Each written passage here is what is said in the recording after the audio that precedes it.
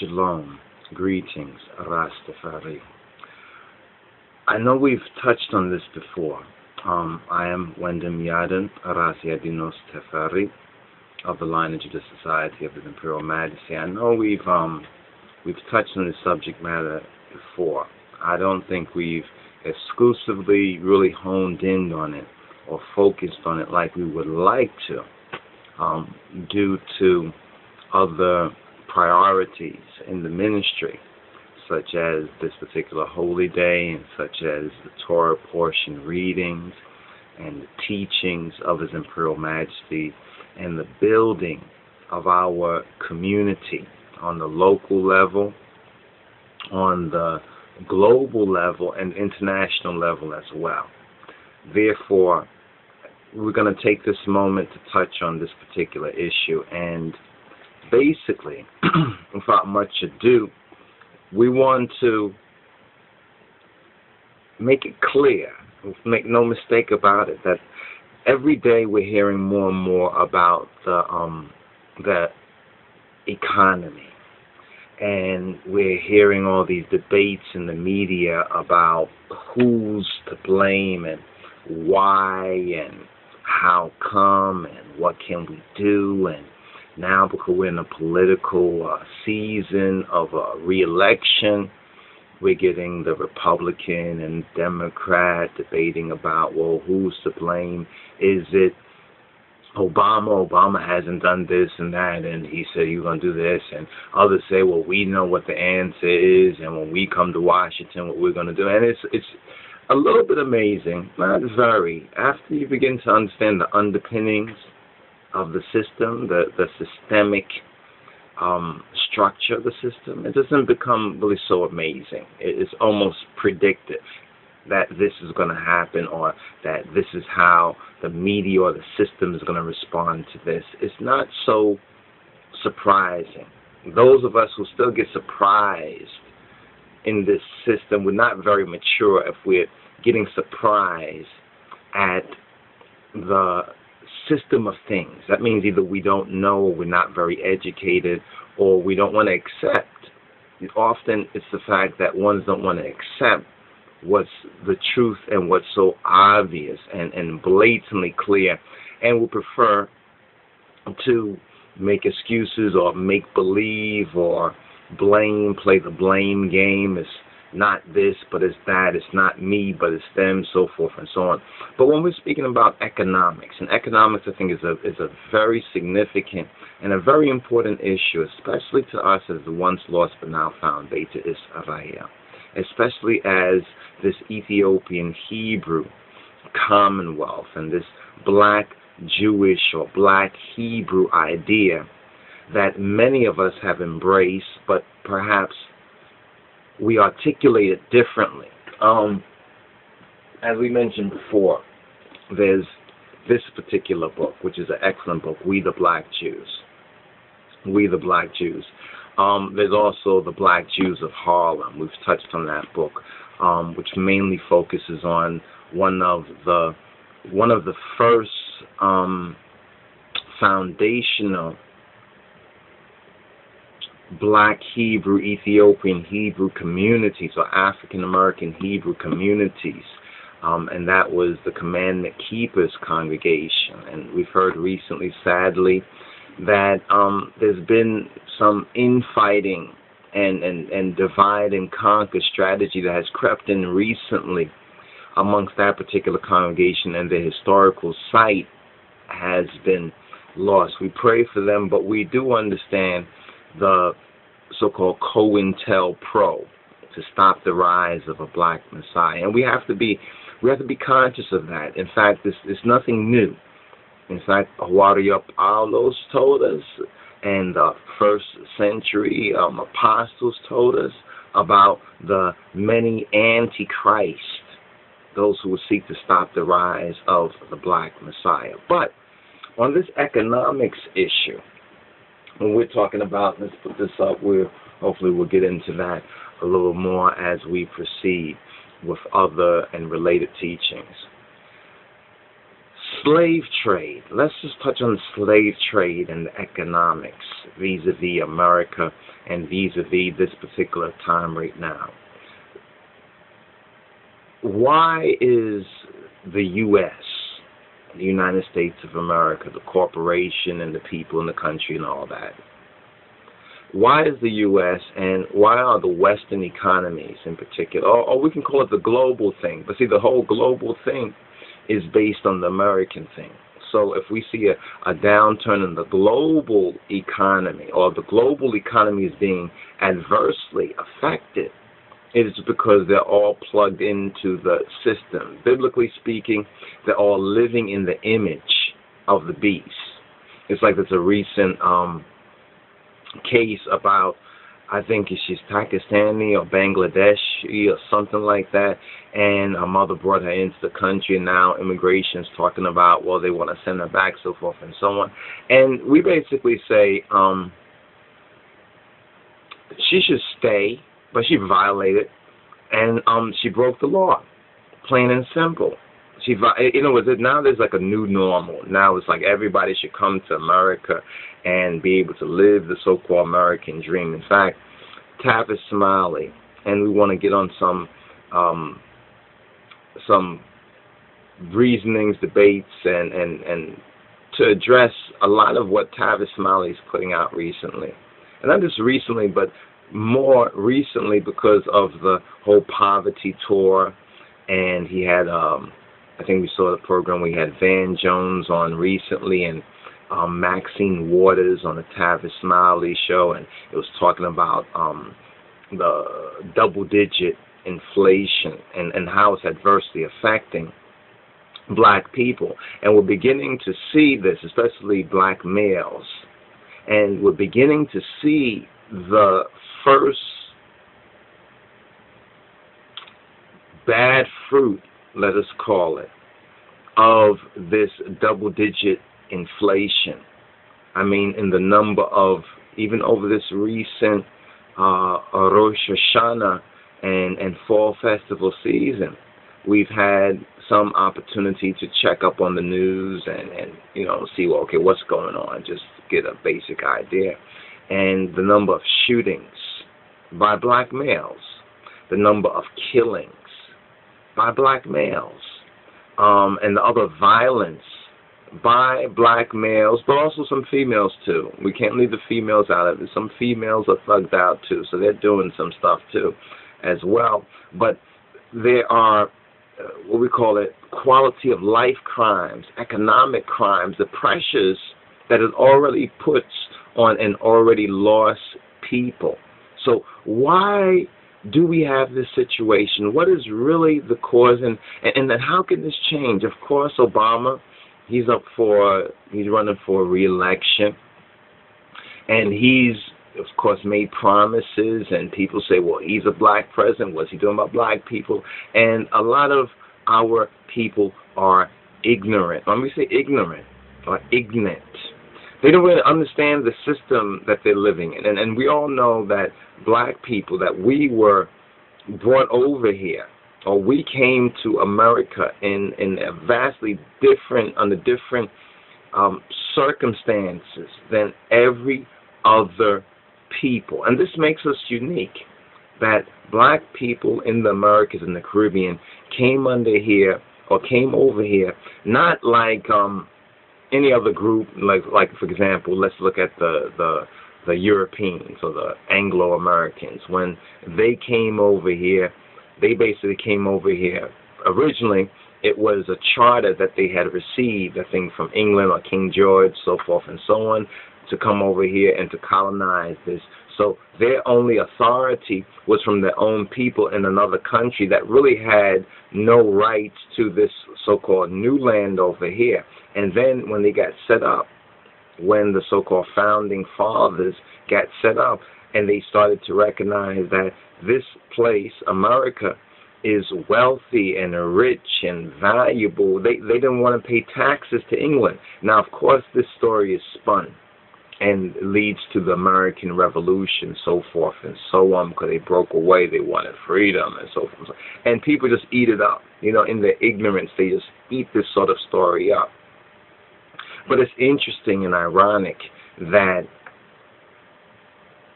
white males, what they call so-called rich white gentry, land holding, slave holding, and that is the real reason. That is the real reason why there is such a devastating and stagnation in the global economy, as well as a downturn in the United States economy overall. You see, because there was something called Reconstruction. I know some folks say, oh, you're going too far back there. We just want to move forward. Well, you can't move forward, right, in a progressive way and not recognize what preceded or what occurred previously. And this has been the problem functioning illiterates or functioning ignorance and functioning in ignorance. We're going to declare this and hopefully go into this point about um, the slave trade curse or the, or, or the curse of slavery. The U.S. and the West, speaking about the Western economies, in particular England, but the EU and Europe, are suffering this economic crisis. And this is one of the curses for slavery, one of the curses of the slave trade. And, and, and why is this? Well, we, we still have something up here interesting since we're still in the season, and there's a reason for this particular Rosh Hashanah season. And once again, brothers and sisters, um, in the Hebrew, Shana Toba, Shana Toba, which is to um,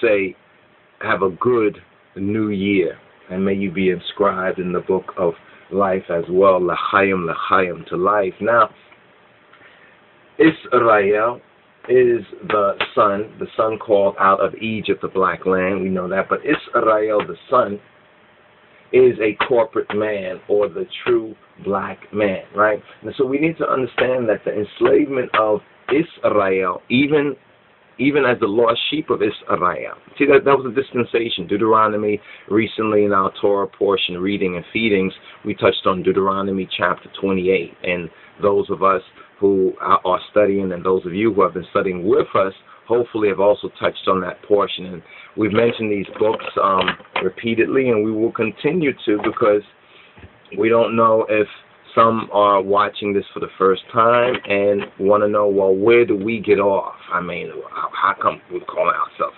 Israelites and Hebrews and black Jews and uh, uh, I don't believe that. Well, you really don't have to believe that. We're not asking to believe that. But do you know otherwise? You know what I mean? Do you know any facts that contradict our truth? And if you don't, well, as one would say, you should check it out. And those who are a little more negative would just tell you to shut up and to check it out. You understand? But if you don't want to, you can go elsewhere. But these particular books right here, From Babylon to Timbuktu and Valley of the Dry Bones, we said that this book in particular, which says as a subtitle, The Conditions That Face Black People in America, is excellent. Tavis Smiley, you really should check this out. I don't know if you're up to it yet or whether situations. What's happening is that situations are becoming so dire, so dreadful, so bad that ones, especially black folks and lost sheep, are so desperate that some of them are going to begin to check out, since they've been checking out all these other other pseudo solutions and they're not working out. Some of them might finally return to their truth and return to our truth concerning who we really are, where we're really from, how we came over here, you understand, and what the big picture is all about, as well as this particular book, which I think touches on the black people's condition and situation in America, even and especially today. But there's a curse. Not just the curse that was on us as the lost sheep, because we refuse to do the will of Yahweh, Elohe Israel, our God. And we also rejected the Moshiach, our black Lord and Savior, Jesus Christ, nearly 2,000 years ago. This is who this people over here in the Americas and the Caribbean really are. And even though many do not want to accept that and reject that, this is the reality. And when we explain and deal with the facts and the factors, everything lines up. It all lines up. It all explains everything to, fro, up, down, east, west, north, south. The whole picture is clear from the informed scriptural perspective. So there's a curse. We call it the slave trade curse or the curse of, of slavery. And this is the major reason for the bad economic situation in America, vis-a-vis America. Um, and of course, with the slavery, the slave trade curse, we're not talking about the racism and segregation and discrimination, and all of these are the byproducts that we can trace from that. But there's a curse for the slave trade and enslavement of God's people and also a curse on the lost sheep of God's people who don't want to recognize that reality. Now, when we're turning on the news, we're hearing it's, it's crazy right now, this particular season right here. It seems like there is an increase in what they call so-called lost black on black violence, what you call lost sheep on lost sheep violence that's happening, where black men, young black men are killing Young black men, young black men are killing old black men, old black men are killing young black men, black men are killing women, women are killing other women, women are killing black men. I mean, there is an, a whole implosion that's going on because most of these folks are lost. They do not have even an inkling of who they are, where they're from, why we're in this situation and no one is telling them. They're not finding this truth of God in Christ, the true gospel being taught in the churches. All they hear from these illegal Jehovah worships you is a falsified, so-called pseudo gospel called a prosperity gospel that has nothing to do with the true message of the Bible for this people, especially in this particular time. Now, with that being said, we want to move on to a connective issue. There's, there's another issue that's connected with that, but we wanted just to put up another because we've been trying to put out this message, um, especially to our people in particular, to the lost sheep, but moreover as a witness to the whole world to the entire world. That this whole economic situation that we're witnessing has everything to do with the lost sheep of the house of Israel, with so-called black people who were enslaved in the Americas and the Caribbean. Now, this does not say that because the black people are the Beit Israel, this means that they are all right and exact and everything is perfect and they are somehow just righteous because of that identification. No, this just points out, well, who's who? On the face of the planet Earth.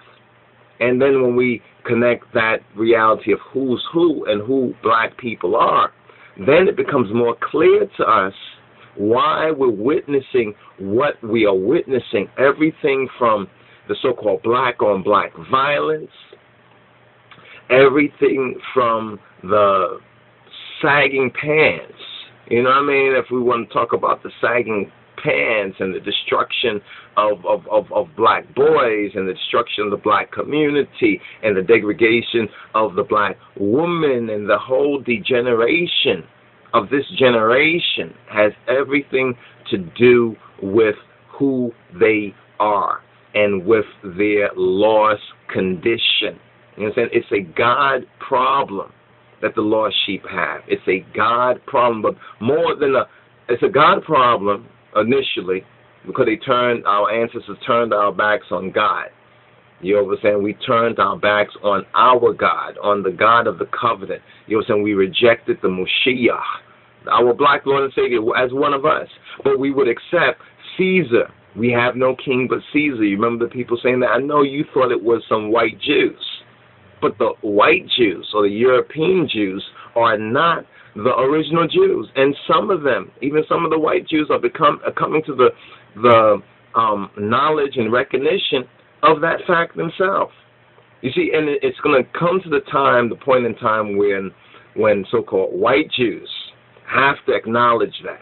And see, when the so-called white Jews acknowledge that, and it maybe become some story in the media or whatnot like that, then you're to get some cornball Negroes saying, oh, oh, yeah, oh, yeah, I saw that on TV, oh, that's amazing. Oh, I got to find out more about that, even though they've been hearing and hearing and hearing.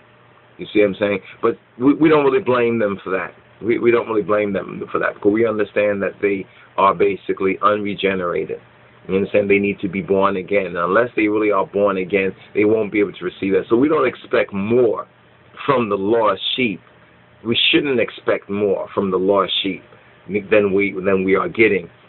Each of us one on one, so forth and so on. But anyway, being that as it may, this is a very good book, and, and we hope to be able to go through um, a lecture utilizing Rudolph R. Windsor's book right here, um, The Valley of the Dry Bones, the conditions that face black people in America.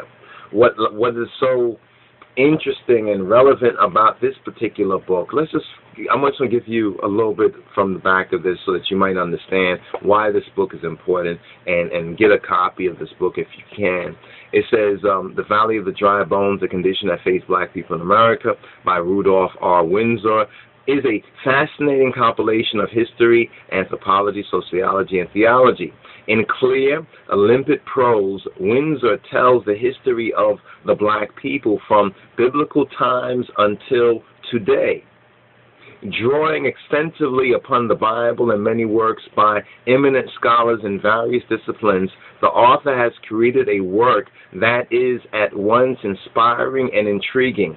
He seeks to prove that the black people, more properly called black Israelites, are truly God's chosen people and as such should become more aware of their unique heritage. The Valley of the Dry Bones represents a first step in this admirable endeavor. Then it explains in the second paragraph, it says, In the latter half of the book, Windsor moves from biblical times to the present.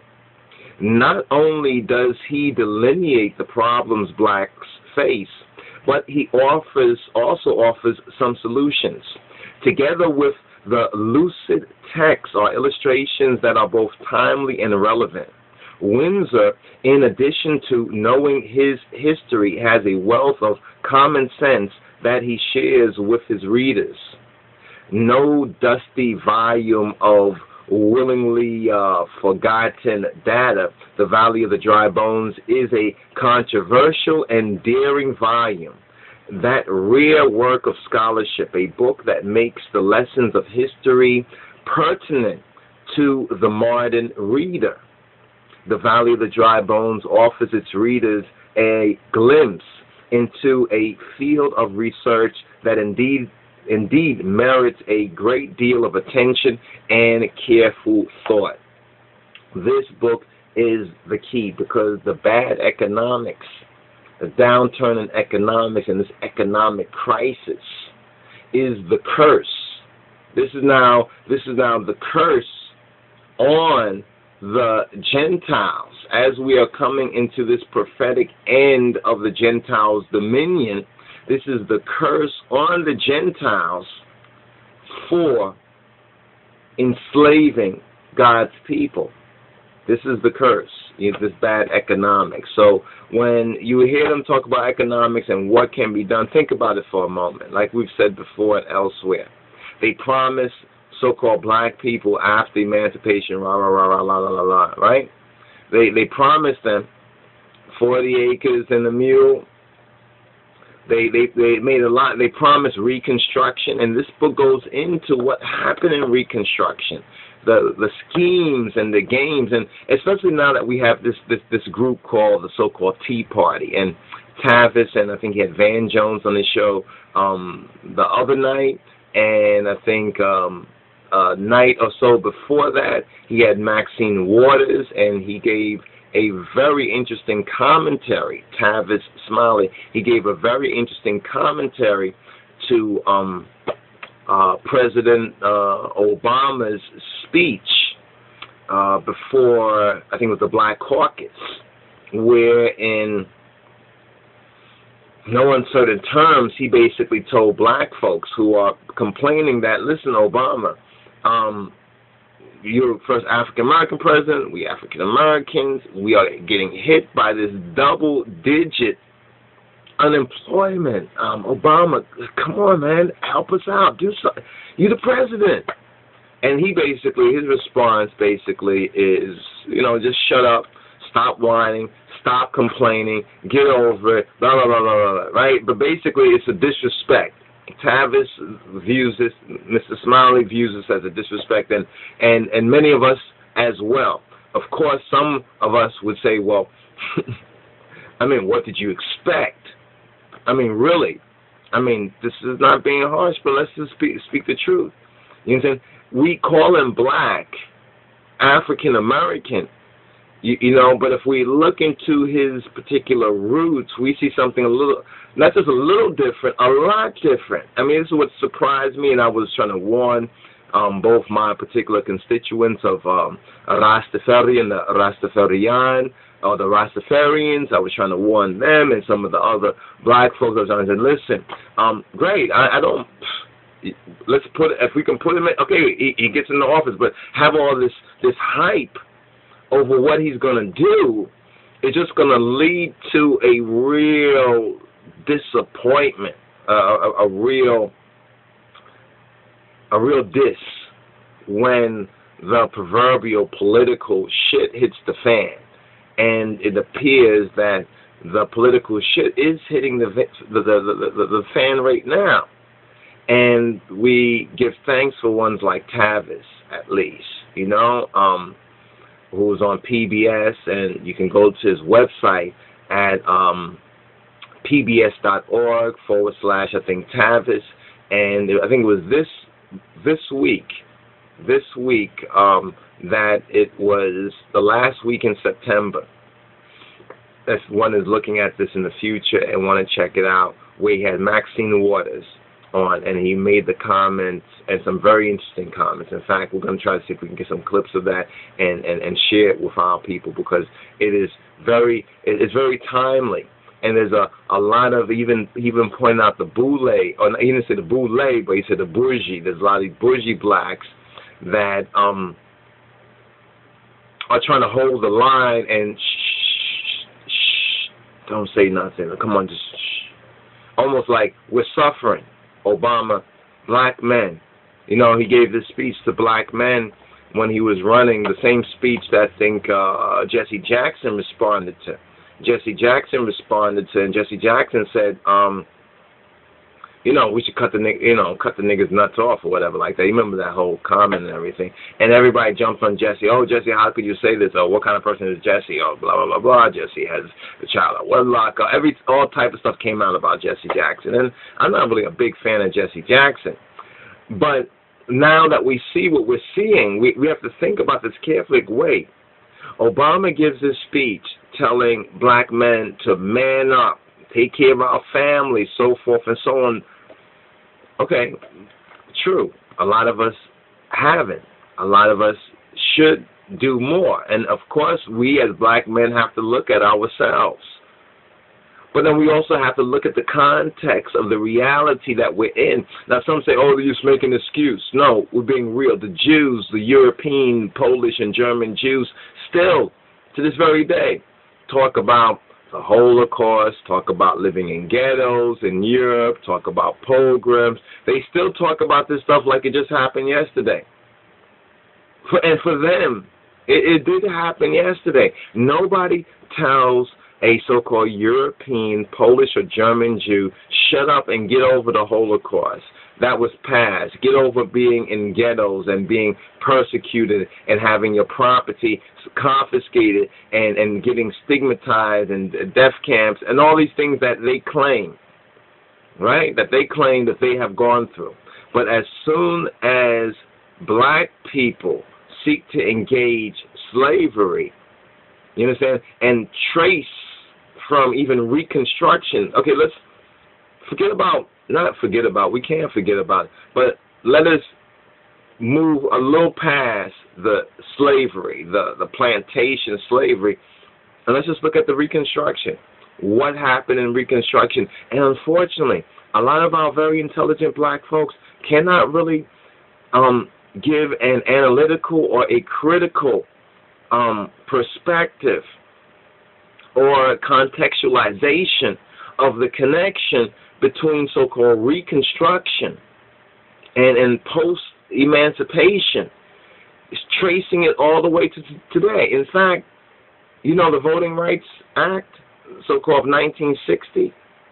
This was first proposed and actually it had passed in certain legislators, so forth and so on, in America in 1860. So what King did and, in the whole civil rights movement in 1960, in a sense, was redundant because the white supremacists, and this is what it comes down to, it's about white supremacy. If one can't recognize see the, the whole, as as as uh, Frances Cress Welsing said, it's like unless one recognizes so-called and is able to face white supremacy, you see everything in this modern um, times, these modern times we're living in, is connected with, biblically speaking, the Gentile world dominion. Biblically speaking, historically speaking, um, the Anglo-European, um, and putting it into kind of a, a, more timely aspect that many of us might address it when we're reasoning with one another. We could call it white supremacy. In a, in a modern sense, white supremacy. That's what it is. It's white supremacy. And one can't even recognize it because the lost sheep are living and are willingly living in the image of the beast. In the image of the beast. Because the white man's interaction with us, the so-called Anglo-European, the slave master and slave driver, was not humane. Now, people say, well, there were some who may have done good, John Brown, so on. Okay, these are exceptions to the rules, but the exception to the rule does not get rid of the rule. The exception to the rule actually verifies and affirms or confirms what the basic rule is. So, this downturn in the global economics. In fact, Obama he said something on uh, a couple of days ago where he uh, where he blamed Europe for this world global economic crisis, so forth. And so on. the real blame for the economic crisis really is the curse of slavery and everything else that they promise and deny, like the Indian at one time before the Indian, so-called American Indian got casino money, the American Indian could still stare the pale face in the face and speak the truth. And, and he said the the American, the real American Indian of years ago, of yester, yester, yesterday or yesteryear said that white man speak with forked tongue. White man speak with forked tongue. And indeed, the white man, he says one thing, he does the next thing. And that's also part of his problem. But black people are so engaged, just like the Bible says, they're trying to heal Babylon. And there's a prophetic scripture that we would have healed Babylon, but she would not. And we're coming increasingly to that time where we're recognizing that in spite of what we went through, we still want the best for America and, and, and to, to, to work out this so-called, um, to, to perfect this union or whatever like that, all this kind of uh, talk that they give. But it is not working out. In fact, you remember this, this symbol right here? This is a symbol of Babylon, right? From Daniel, Daniel's prophecy. Now, you remember in that vision, it talked about the feet, right? The feet which are made out of iron and, and clay, and how the iron and clay, how the iron and clay do not um, do not mix together. They don't make a solid. It, it doesn't make a real a real strong bond. It's a weak bond. Instead of a strong bond, it's a weak bond. And this, I think, more than anything else, explains where we're at in this New World Order picture. You see, in this New World Order picture.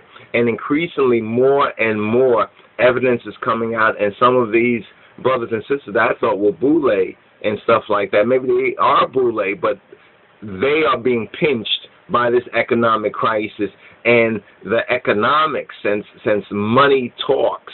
You see, see, see money has more more authority than man in this society. And now that the economics are turned down, now that people are not finding jobs and works and losing money in the middle class and falling out the middle class, now they're willing to speak more more um, like men. And this is unfortunate too. You know what I'm saying? This is unfortunate too that they're not really willing to speak for the, the poor sufferer. You understand? And address that. And, and we, we make an exception, of course, with uh, Tavis Smiley and Cornel West and, and Van Jones and Maxine Waters and, and, and some of the other people out there that have been at least um, holding the line against white supremacy um, more or less. But anyway, the curse of slavery is the real reason for the global economic crisis in America and um, and and Europe, but all over the world. It's, it's, it's the curse of slavery or the slave trade curse. So more to come. Stay tuned. Shalom. This is Aras Yadinos Teferi Name.